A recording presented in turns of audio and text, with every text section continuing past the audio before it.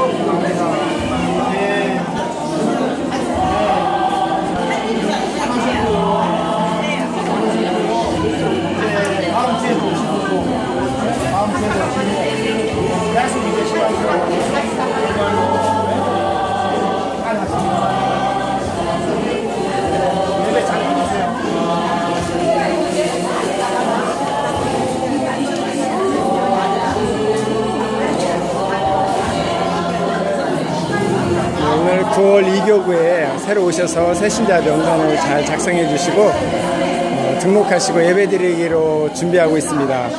오늘 오신 분들 모두 다가 영원 구원과 또 가정의 평안과 기쁨이 넘쳐나기를 바라겠습니다.